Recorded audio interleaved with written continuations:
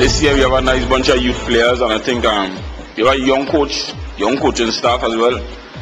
Uh, we, we, we, was in the final last year. I think this year we will try to do better to put our hands on the trophy this year. It's competitive, but I think we have what it takes this year to win this title this year. I think we have a lot of depth in our team this year. We have seven under 20 players from the national under 20 team. We have four senior team players who go already on national duty, and we have some nice youth players coming up from the reserve team, so that the team is really doing well as one group. We have to very together this year, and I think that injuries and so on won't be any problem with us this year. Yeah.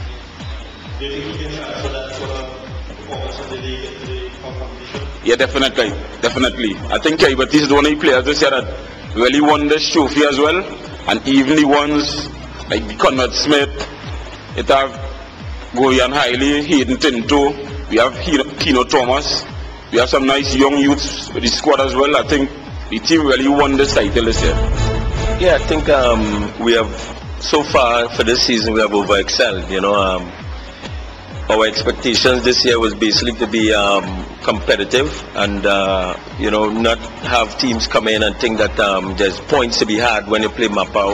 And I think we have established that uh, now that in reserve games, you know, we can see Dale Saunders bringing in full team to play us and that kind of thing. So you know that is always good. Well, the, the vision of the owner was uh, to have a young team and to have uh, locally based people coaching the team. I think um, uh, we are also young coaches, uh, but we have a lot of experience playing wise and, and coaching also. You know, um, besides winning the league, Mike um, on his own with Joe Public, you know, I've been with Terry for a number of years now, and we've been winning stuff there too. And uh, we try to incorporate the two things and. Um, so far, you know, it's been very successful for us, um, bringing on some of the, the, young guys who last year, you know, they, they, they basically finished ninth. And uh, our task was really to bring them up to a professional level, and um, I think they have achieved that. There's no friendly in football anymore, and um, W Connection have 35 players to to choose from. Andre Toussaint is injured or Kerry Baptiste for them is injured, they have to play another player. So there's no, and he also said that there's nothing about reserve players.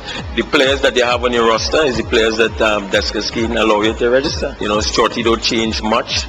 Uh, we've been watching them in the Champions League. They've been doing very well, and congratulations for them. But um, you know, we are the upstart team, and uh, we want to cause um, some upsets to represent W Connection, seeing that we have won the Citizens Cup five times straight, six times overall. I want to say good luck to all the teams like Joe Public. Might try to win it. So I want to say good luck to all the teams, Army, Jabloteh. Seeing that will be a hard task for us, seeing that all the teams and them is very competitive this year. Although we will never put on our heads and we will try our best all the time and come out victorious.